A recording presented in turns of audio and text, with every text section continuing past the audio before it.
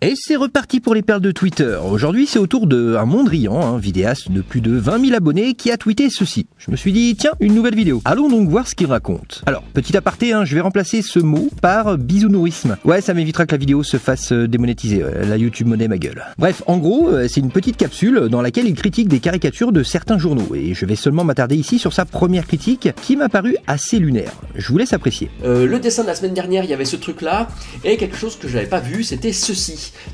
Téhéran à 10 minutes de Paris, en tout cas je ne l'avais pas analysé, et effectivement ça emprunte de la rhétorique du grand remplacement. Alors euh, déjà je comprends plus, il nous dit que le grand remplacement serait une théorie conspirationniste d'extrême droite. Euh, concrètement là ce qu'il est en train de dessiner c'est du grand remplacement, donc euh, théorie conspirationniste d'extrême droite, s'il a besoin de le rappeler. ok, pourquoi pas, mais il y a quand même un petit problème de cohérence à l'extrême gauche, hein, j'ai l'impression. Non parce qu'il y a un de ses acolytes, hein, nommé Vélanx, qui a pourtant bien expliqué en vidéo que ça existe que c'est juste le terme qu'il fallait changer, car il a une connotation négative. Mais utiliser l'expression grand remplacement pour parler de ça, ce n'est absolument pas neutre ça implique que nous sommes en train d'être remplacés par eux, par l'autre, par l'ennemi. Ça évoque un imaginaire très euh, anxiogène. Et lorsqu'on utilise l'expression grand remplacement pour parler de changement démographique, on valide l'idée que ce changement démographique, dans la mesure où il existe, est quelque chose de grave et d'anxiogène. À chaque fois que monsieur et madame tout le monde utilisent l'expression grand remplacement, c'est une victoire pour les identitaires ethno-nationalistes. Et ce, même si on utilise cette expression pour expliquer que ce remplacement est moins rapide qu'ils ne le disent. Et là, du coup, bah, on a un Mondrian qui nous explique que, bah non, en fait, c'est une théorie conspi. Alors, je sais plus, moi. Hein. Bah, de ce que je peux comprendre, si tu parles de changement démographique, bon, là, ça passe. Bref, continuons. À savoir que euh, là, on imagine que c'est le pire d'une culture qui vient chez nous, qui est déjà là. Et donc, comme des gens qui viennent d'ailleurs, en venant chez nous, ils amènent tout toute leur culture, toutes leurs règles, toutes leurs lois, tout ce que vous voulez.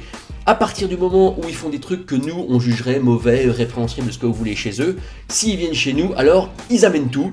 Ah donc euh, là il est en train de nous dire que des populations issues d'un pays avec une culture très différente qui viennent en France ne peuvent pas influencer la culture du pays. Ah oui c'est vrai que par exemple ça euh, non ça n'existe pas. Hein.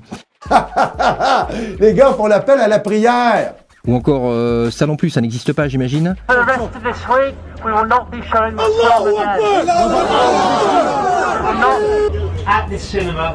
En venant chez nous, ils amènent tout. Ou alors non, attends, non mais oui, c'est pas en France, c'est en Allemagne et en Angleterre, ça compte pas. Eh oui, eh oui, non, rassurez-vous, hein, les amis, nous en France, on a un bouclier magique qui empêche la culture française d'être influencée par des mouvements démographiques.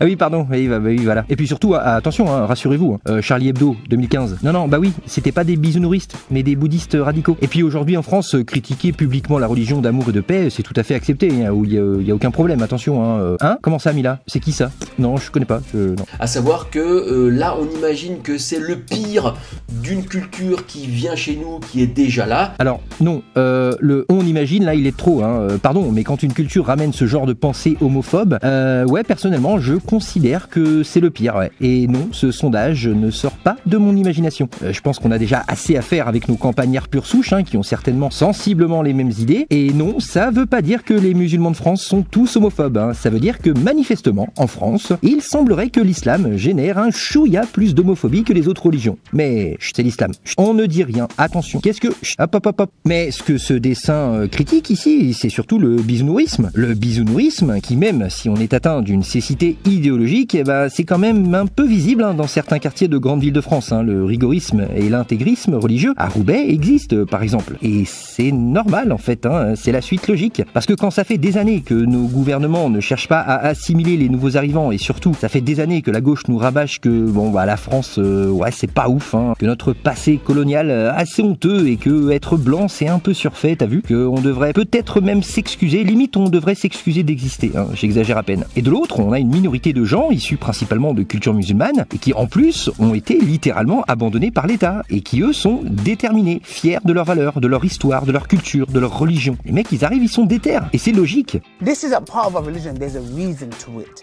Yeah, there's a reason why there's a capital punishment because people like you, little weaklings who leave their religion and cause uh, corruption in the land by spreading it, the capital punishment in Islamic law would be applied to you. We have no doubt, and we're proud of that. Yes, and we, you know what, we'll be watching. Oh my gosh, that's terrifying. Nous, on est là en mode, oh non, attention, pardon, ah, tu, tu es les apostats euh, Oui, oui, ok, non, mais ok, on respecte votre croyance, oui. Et eux, à côté, bah, ils sont en mode fierté. And we're proud of that. Et franchement, Psartek, ils ont raison. Et puis sérieux, mets-toi à la place du bisounouriste de base. Tu crois que ça lui donne envie de s'intégrer quand il voit que les élus, les médias, passent leur temps à dire que la France, bah, c'est plutôt de la merde et qu'on devrait avoir honte. hein. Mais c'est normal que ces gens-là préfèrent leur loi divine et leur culture à la France. C'est logique. D'ailleurs, ça a été étudié, ça, hein, le fait que des minorités arrivent à faire plier la majorité. hein. C'est ce qu'on appelle la psychologie des minorités actives. Les études à ce sujet démontrent que dans une population donnée, les minorités actives auront tendance à plus souvent réussir à imposer leur choix face à la majorité molle. Et c'est globalement ce qui se passe hein, dans certains quartiers, que ce soit en Allemagne, euh, en Angleterre ou en France. Et encore une fois, c'est normal, hein, c'est difficile de leur en vouloir. Je vous parlerai bien aussi de ce sondage IFOP hein, qui dit que plus de la moitié des jeunes musulmans en France se priorisent la loi chariatique avant les lois de la République. En 2016, c'était 10% de moins. Mais ça aussi, bien sûr, euh, c'est un fantasme. oui, oui, non, rassurez-vous, le, le bisounourisme ne prend pas d'ampleur et surtout ne peut pas influencer notre culture et ne génère aucun problème. Ce genre de pensée n'aura aucun impact sur la culture du pays. Non, c'est sûr, arrêtez. Euh, donc Téhéran est à 10 minutes de Paris. Pourquoi? Parce que dans l'imaginaire de ces gens-là, il y a des femmes musulmanes qui font la loi dans les rues, un peu comme les musulmans qui font la loi dans les rues de Téhéran en Iran. Voilà. Bel homme de paille, hein, c'est encore. hein. Personne ne dit que les femmes musulmanes font la loi. Par contre, la pression sociale exercée sur des femmes ou encore des apostats dans certains quartiers de France, euh, euh, bah non, non, non, ça non plus, ça n'existe pas. Non, non, non, pardon, j'ai rien dit. Non, non. Donc euh, bah voilà, ils arrivent. Hein, euh, c'est pas les rouges, mais c'est quasiment pareil.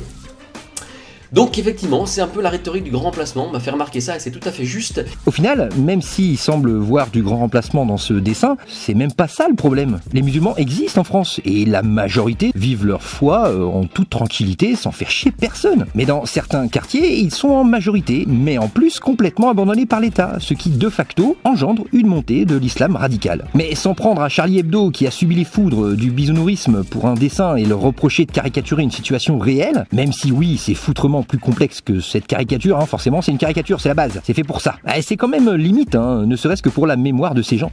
Et toi mon petit bonhomme, t'en penses quoi finalement tout ça Parce que moi je...